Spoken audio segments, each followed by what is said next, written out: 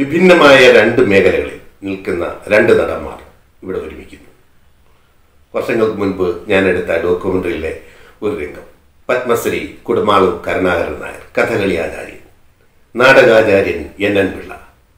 അവർ തമ്മിൽ വിശേഷങ്ങൾ പങ്കുവയ്ക്കുകയാണ് പത്മശ്രീ കുടമാളൂർ കരുണാകരൻ നായർ കടന്നു വരികയാണ്. ഇല്ലാതെ ഒരു നടനായി തീരാൻ സാധിക്കാറില്ല. നല്ലൊരു നടനാവണമെങ്കിൽ പന്ത്രണ്ട് വർഷം അഭ്യസിക്കുന്നതിനും പുറമേ കുറേ സത്തുക്കളുമായിട്ട് ഉള്ള സംസർഗം കൊണ്ടും ഒക്കെ ഒരു ഒരു നായകത്വമായ നായകന്റെയോ നായികയുടെയോ ഒരു കാര്യങ്ങളെല്ലാം ധരിച്ച് പുരാണ വിൽപ്പത്തി ഉണ്ടായി. അതിനെ വേണ്ട പോലെ കൈകാര്യം ചെയ്യാനാവുള്ളൂ. ഈ നാടകത്തിൽ കുറച്ച് ദിവസമൊക്കെ പരിശീലനം ചെയ്തേച്ച് വലിയ നാടകക്കാരനാണെന്നൊക്കെ ഇങ്ങനെ പറഞ്ഞുകൊണ്ട് നടക്കുകയും കേൾക്കുകയും എഴുതുകയും ഒക്കെ ചെയ്യുന്നുണ്ട്. അതെന്താണെന്ന് മനസ്സിലായാൽ കൊള്ളാം. വിവരക്കേട് തന്നെ. മനസ്സിലായോ?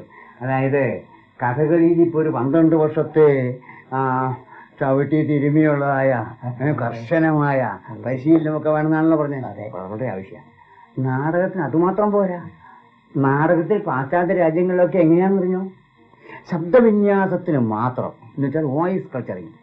അതിനുവേണ്ടി മാത്രം എട്ടും പത്തും വർഷം എടുക്കുന്നുണ്ട് മെർലിൻ ബ്രാൻഡോ എന്നൊക്കെ പറഞ്ഞ നടന്മാർ ചുമ്മാ കൂട്ട പോലെ ഇങ്ങനെ സഞ്ചിയും കഷത്തി വെച്ച് അങ്ങ് പോയവരല്ല.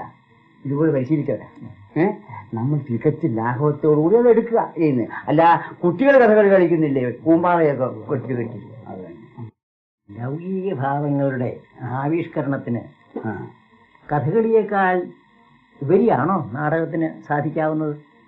ശരിയാണ് അല്ല എന്ന് ചോദിച്ചാൽ ഇത് രണ്ടും രണ്ട് മാധ്യമങ്ങളാണ്. കഥകളി എന്ന് പറയുന്നത് കുറെ കൂടെ ക്ലാസിക്കല അല്ല കുറെ കൂടെ അല്ല. ഇറ്റ്സ് കംപ്ലീറ്റ്ലി ക്ലാസിക്കൽ ക്ലാസിക്കല നാടകം അതല്ല കുറെ കൂടെ ഈ ജീവിതവുമായിട്ട് ഒരു വ്യത്യാസമില്ല. റിയലിസ്റ്റിക് എന്ന് പറയും.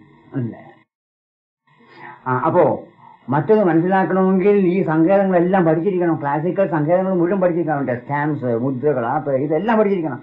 ഇതിനാണെങ്കിൽ ആ ബുദ്ധിമുട്ടില്ല. സാമാന്യ ജനങ്ങൾക്ക് അപ്പം തന്നെ ഗ്രഹിക്കാൻ കഴിയും. എന്നാൽ ഈ നാടകത്തിൽ ഇപ്പൊ ചില അഭ്യാസങ്ങളുണ്ട് കേട്ടോ. എന്നാലും ഒരു മനസ്സിലാക്കണം.